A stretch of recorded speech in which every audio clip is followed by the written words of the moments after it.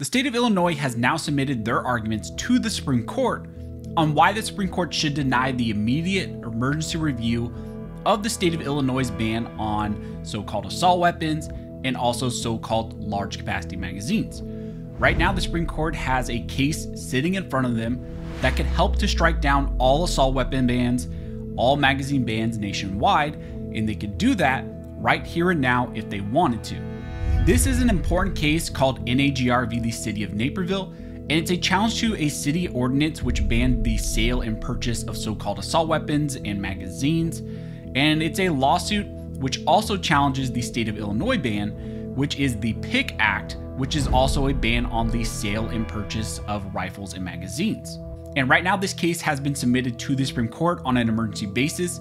It's in front of Justice Amy Coney Barrett, and Justice Barrett has demanded that the city of Naperville and also the state of Illinois file a response and defend the constitutionality of their current bans. And today we just received a response from the state on why this ban is, in their eyes, constitutional and why the Supreme Court does not need to intervene in this case.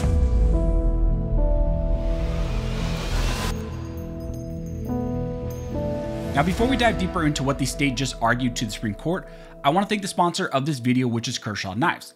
Kershaw makes some of the best knives available right now on the market for your everyday carry. And just recently, Kershaw dropped a new line of knives that you can pick up. I carry a Kershaw knife every single day for my EDC. I cannot recommend them enough. And right now, if you order through their website using the code 23scholar20, you can get 20% off of your order and free shipping on orders of $100 or more. So head on over to Kershaw Knives, use that code, and pick yourself up a really high quality EDC knife. So, for those of you who may not be up to date with what's going on in the state of Illinois or what this NAGR lawsuit currently is, in simplest terms, the state of Illinois has a ban in place on the sale and purchase of so called assault weapons and also so called large capacity magazines.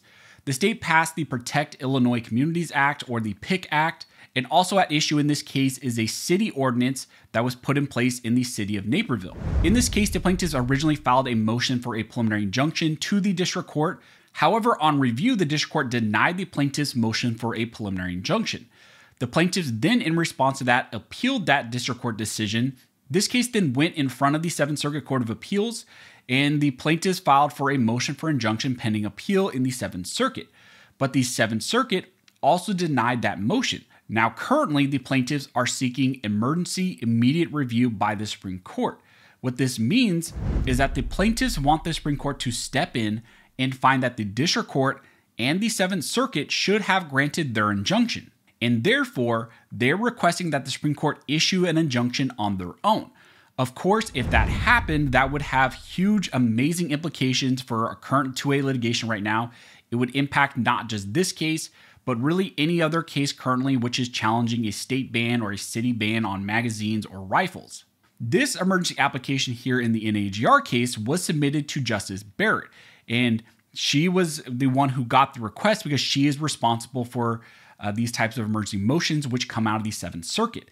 And in response to this emergency application, Justice Barrett demanded that the city and the state of Illinois respond to the emergency application. Now, this case is even more important right now because we just saw a decision coming out of a different federal district court in Illinois, and that was the Barnett v. Raoul case.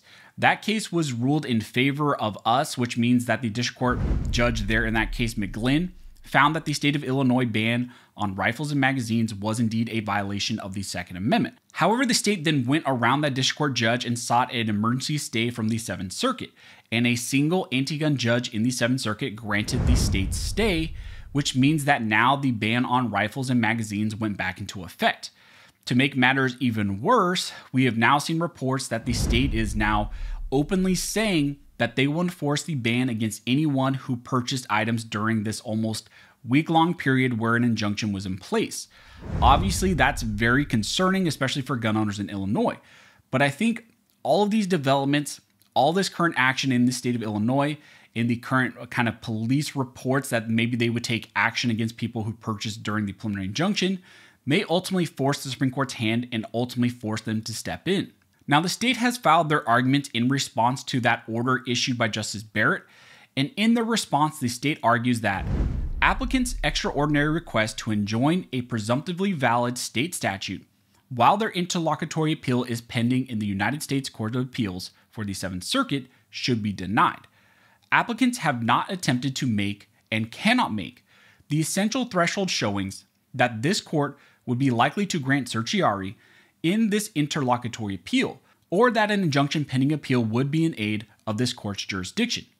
Beyond that, applicants have not shown that this is indisputably clear that they will prevail on their claim that the Protect Illinois Communities Act violates the Second Amendment. Nor could they, since this court has not addressed a Second Amendment challenge to a law similar to the Act.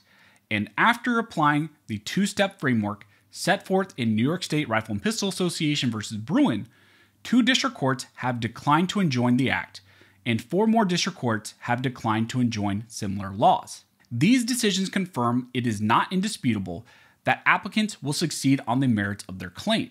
Applicants also have failed to show that crucial and exigent circumstances exist that would require this court's immediate intervention. So, something I want to point out right here, which the state is openly arguing. Uh, first, they say that two district courts have already upheld this type of ban using the New York State Rifle and Pistol Association versus Bruen two step framework.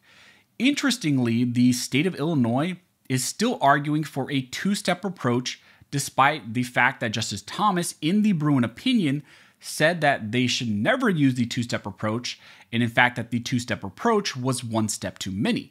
Despite that, as we've seen by the lower courts, like here in Illinois, they are still trying to mold that Bruen decision in a way that still protects these bans, and they're still trying to use some so, uh, sort of and some framework of a two step approach. Also, the state is arguing that the Supreme Court has never addressed a challenge which is similar to the PIC Act, and that's simply just not true. They haven't directly struck down an assault weapons ban or a magazine ban, but they have addressed cases which deal with arms in common use for lawful purposes, and they've addressed laws which categorically ban those types of items.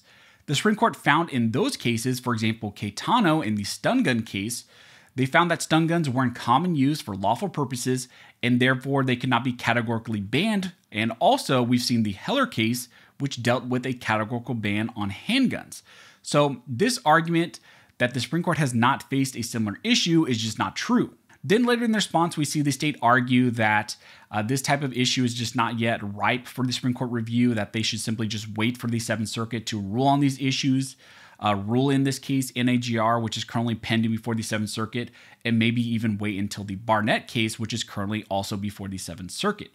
Traditionally, Supreme Court does not like to take on interlocutory issues like we're dealing with here, which is a preliminary injunction uh, denial appeal, is really what this is. They often prefer to deal with final resolutions uh, when cases are finally decided, either by a full trial, a full hearing, or something like a motion for summary judgment.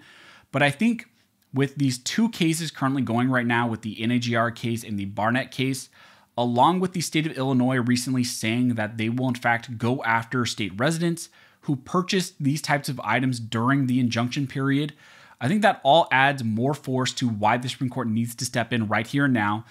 And it adds to the argument that there is going to be clear harm that is imposed on gun owners in Illinois and why the Supreme Court needs to step in right now and to protect those individuals, especially those individuals who, under the Barnett case, uh, went out and purchased these types of rifles, these types of magazines, because there's an injunction in place.